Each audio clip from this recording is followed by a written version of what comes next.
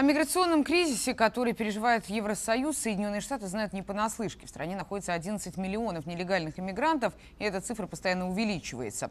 Сегодня на берег популярного среди туристов пляжа Майами-Бич во Флориде высадились 12 выходцев из Кубы. А в полиции Майами сообщили, что в самодельной лодке были 11 мужчин, одна женщина и собака. Все они смогут остаться в Соединенных Штатах.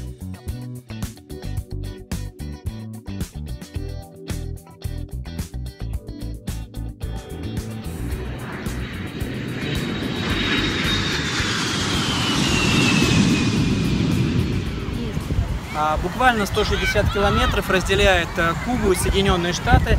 Если вычесть э, зоны береговой линии, остается нейтральная полоса, ну, примерно 80-100 километров. А, то есть совсем рядом. Если взять хороший бинокль со хорошей оптикой, можно даже увидеть Соединенные Штаты. Познакомились с человеком, который говорит по-русски, и ну, ситуация тут с деньгами интересная. Есть э, деньги для туристов, это куб, который меняется один к одному, один доллар, один куб. А есть э, национальные деньги, которые меняются один к 24. То есть за один кук, который для туристов дают 24 местных. Вот. И за местные можно ездить на автобусе, покупать фрукты здесь на рынке. Вот как раз мы сейчас стоим возле обменника, где мы сейчас будем менять одни деньги, а, которые называются КУК, на национальные.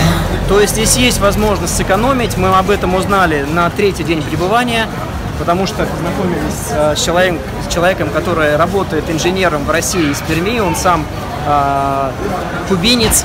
Вот, так нам повезло, что мы его встретили, он нам сейчас все рассказал. Допустим, билет на автобус стоит один национальный, ну, национальный песо. Это получается 0,24, то есть это вообще чуть ли не один рубль поездка обходится.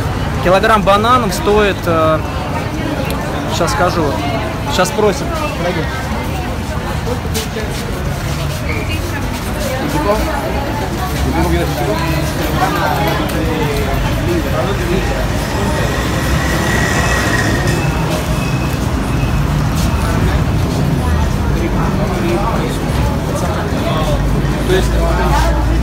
То есть получается 3 национальных песо килограмм бананов. То есть э, если меняется один куб на 24 песо, то ну, там цена вообще чуть ли не 10 центов за килограмм. То есть очень выгодно.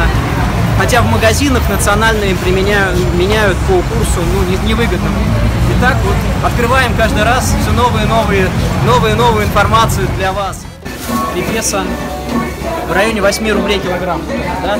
Можно взять авокадо. Авокадо стоит 10 песо килограмм. 10 песо это даже не полдоллара. То есть в переводе на национальные деньги здесь очень выгодно. Но это можно использовать только на рынке, общественный транспорт, ну и какие-то магазины, но их очень мало.